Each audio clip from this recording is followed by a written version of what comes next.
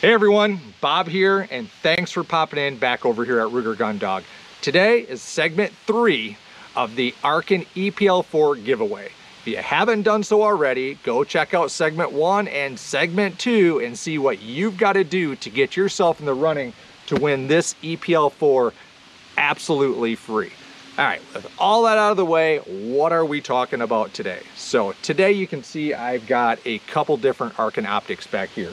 I have the EPL4 that we're talking about, as well as an EP5 and a SH4 Gen 2.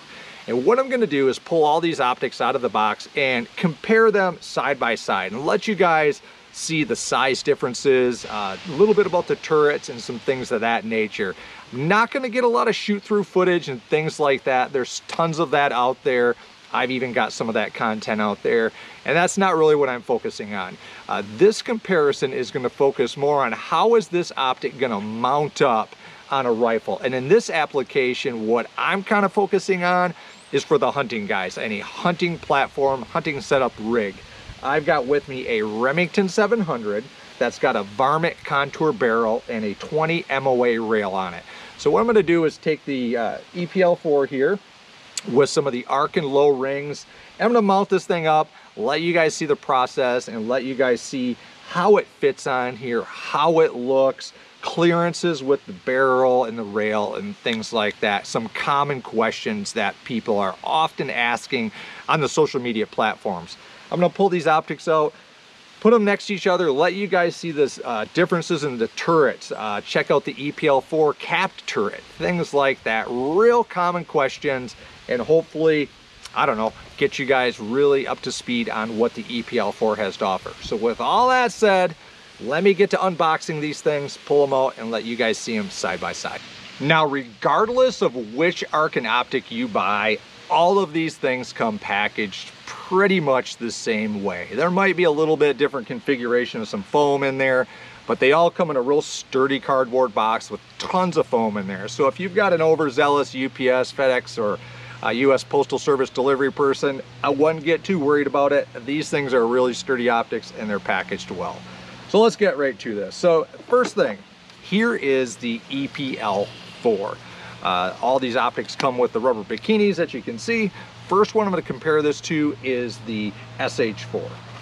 So here is an SH4 and the SH4 that I'm comparing this thing to um, is noticeably heavier. Now you can go to Arken's webpage, you can look up the specs, but I'm here to tell you, when it comes to putting these things on a hunting rifle, you're gonna notice right out of the box that this EPL4 is considerably lighter. It feels a third lighter just not putting this on a scale or telling you guys those actual numbers.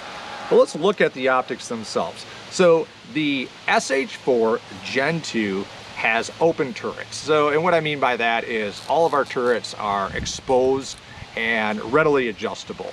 Uh, this optic has got the 34 millimeter tube and some heft to it. When I get down to this EPL4, the main comparison that you're gonna see on this optic or you know looking at a SH4 Gen 2 or the EP5 is this capped turret right here. So simply remove it, and there you've got your numbers and your adjustments, your solutions right here. And the way that this works is very simple. You do not need to use the supplied small two millimeter, if I believe, Allen key to make your adjustments to this windage knob. You look real close right here. There's simply a inner ring that you can adjust. If it gets too tight, there's a small fingernail notch in here that you could probably get to with a coin, like a dime or a penny, I would say. Anyhow, you pull this off, and when you get to this, all you're gonna do is, here is your cap right here. Uh, this thing has some locking teeth on it, just like everything else would. And it's gonna lock into place once you get your solution set or your zero, and you get that into place, and you simply put this cap back on. Uh, it's real simple to do. You get it a little bit snug and there it is. Well, this cap right here is just a security measure. If you're out hunting and this thing is getting whopped around while it's on your sling, this cap snugly is gonna keep your windage knob in place. You know, if you're a guy that hunts from a shack or a stand or something like that, You know, you can use this optic just like you would an SH4, an EP4, EP5, any of the other optics and crank in your solutions and not really worry about losing this. You could put a small dab of something like the Vibralock or Blue Loctite on this. I wouldn't get over crazy with anything locks any more than that, but you could lock this cap in a little bit if you wanted to. I suggest just use the cap. That's what Arken supplied it with. So here is the EPL4. You know, I'm looking at this and comparing it now to the EP5 and boy, I will tell you, this EP5, and this is the, you know, the higher magnification model, and this is the lower magnification model, EPL4. So we're looking at a little bit difference in the magnification setup. But bulk and heft, if you've got these on your hunting rigs, the EP5s, I am telling you that this may be your solution if you're looking to lighten things up. That is noticeably different. Uh, the other thing is the 34 millimeter tube versus the 30 millimeter tube. Really can't tell the difference and you'll notice it if I hold these up to the rifle, the rig setup, how much smaller this EPL4 looks. It's a little more pleasing to the eye actually on a hunting rig.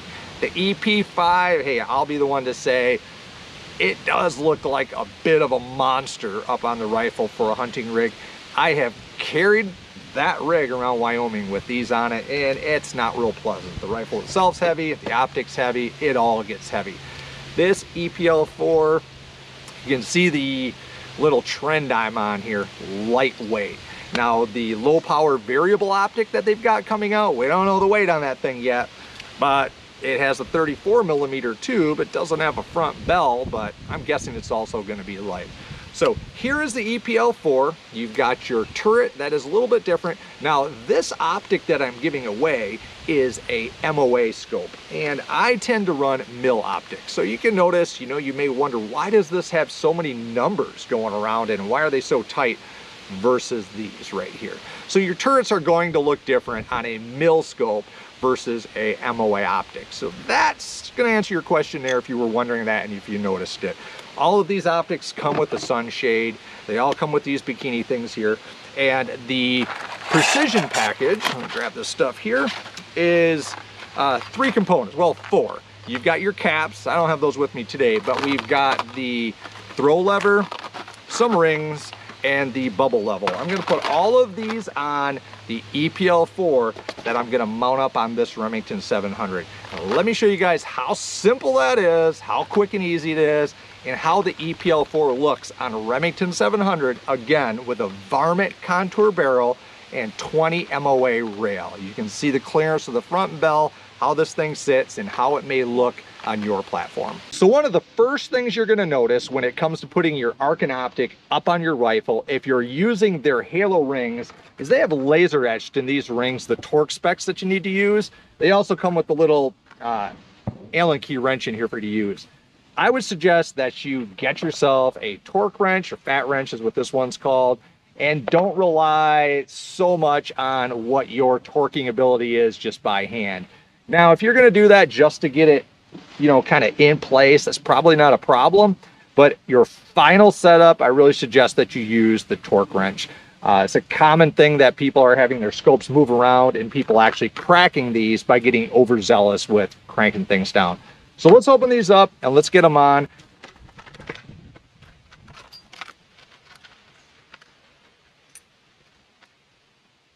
Here's the small wrench that Arken includes. We're going to use that to open these up and get them set up right up on the optic itself before we set it up on the platform here.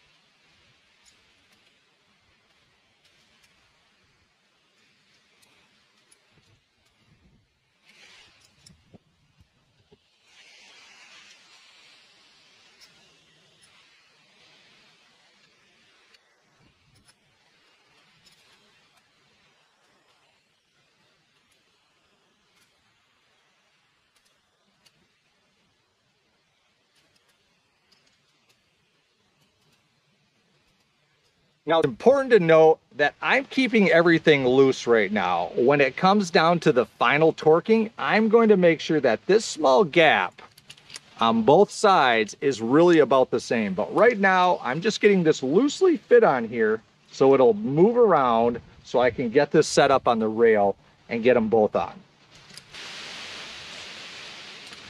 Okay, so now that I have both rings loosely set up on the optic, next thing I'm gonna do is loosen up these four screws that are gonna allow the clamping sides to open up so I can actually have this thing set up on the rail here and get my eye relief set.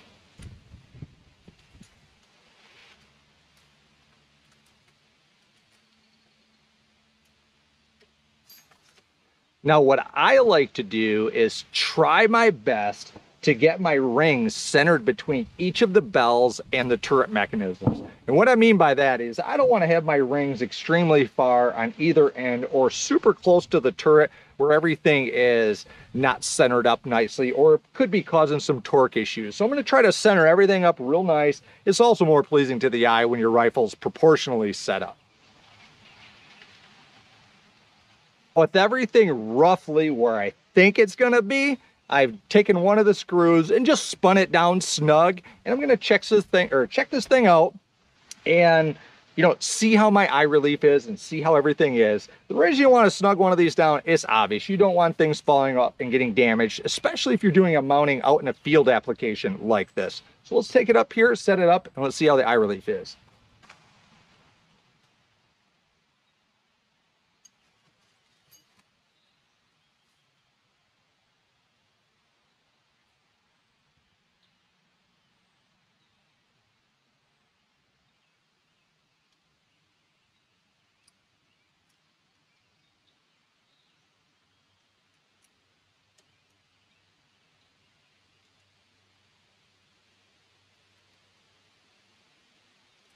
Okay, so here we are. I have got the rings and the rifle roughly mounted up to the rifle. Nothing's moving around at this point, but nothing is torqued down yet because the next step here is going to be leveling the reticle. And I've got some content on how I do that with the plumb blob string, and there's a million different ways you could do that, but if you're interested, check out my content on that.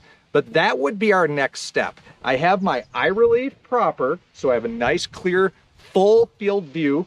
And really at this point, I'm gonna leave this be, get this thing to the range, get it leveled off, and the last step will be using the torque wrench to torque everything to its final torque specs. Now, what Arken recommends is 18 on the top here, and you can see they print it right on there, 18 inch pounds, and 30 inch pounds on the side clamps. And you could tighten those up right now if you wanted to, but in general, I pull the fat wrench out at one point and get this thing all squared away at the range. So here it is. I'm gonna show you guys some close-ups of what this EPL4, this is the 4 to 16, and what this looks like mounted up, again, on a Remington 700 Action 20 MOA rail with a varmint contour barrel. So here it is. All right, everyone, there's not much more to it than that. It's really simple to mount an Arken optic up on your rifle, even in a field setting like this. These halo rings, they've got the torque specs on them. They help you out, letting you know, reminding you not to over torque things. It's best to use that torque wrench if you've got it, but if you do use the supplied little wrench, just don't get too crazy with that. Today, I did not put the precision pack on the EPL4 on this rig. And again, that precision pack includes the magnification throw lever. This is a nice thing to have, guys. If you don't have one, the Arken Optics are known for getting kind of tight with that magnification ring when they get cold. So if you're gonna use the EPL4 in a hunting situation, that magnification throw lever is a good thing. And since we're not actually zeroing the rifle or leveling the reticle today, I'm not gonna put the bubble uh, level on there today because I need to level things. And inside the Halo rings package, they always come with a couple extra screws. They're kind of nice and handy. We don't need them today. Throw them in the bucket of your spares. So that's that. That is a field mounting of an Arken Optic up on your rifle platform. I hope you find this content useful. I hope you get yourself in the running to win this EPL4. Now a quick caveat here, I am not going to be firing this 300 Win Mag with the EPL4 on it. So if you're trying to win this scope, you don't have to worry about this is a scope that's been through a whole bunch of recoil. I'm gonna pull this off of this rifle and do some other content with it for you guys. So thanks for checking in. I hope you checked out series one and series two or part one, part two of this series. I've got one more episode coming out before we do the final one. Again, thanks for checking into Ruger Gun Dog. See you guys next time. Let's take one more look at the difference in the windage knobs on the EPL4 compared to the SH4 Gen 2 and the EP5. Notice how much smaller this capped windage turret is on the EPL4 compared to this massive quick adjusting windage turret on the SH4 Gen 2 as well as on the EP5. You can also notice the difference with the massive 34 millimeter tube on the EP5 and SH4 Gen 2 compared to the 30 millimeter tube on the EPL4.